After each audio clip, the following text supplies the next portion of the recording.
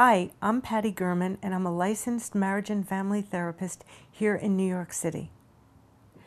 In this clip, we're going to talk about how to identify a victim of child abuse. Well, it's very difficult to identify an adult who has been abused as a child because the signs are not physical signs.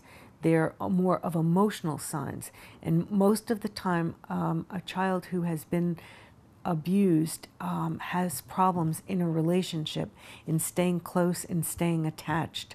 And that's something that will be unfolded and uncovered as the relationship advances.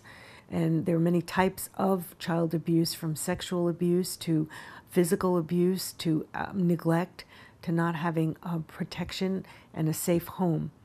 But in, in young children or in ch children, you can tell signs. There are physical signs many times that, that can show that a child has been abused by uh, black and blue marks on the arms, scratches, um, um, physical physical sores, things like this, and in in in, in a child.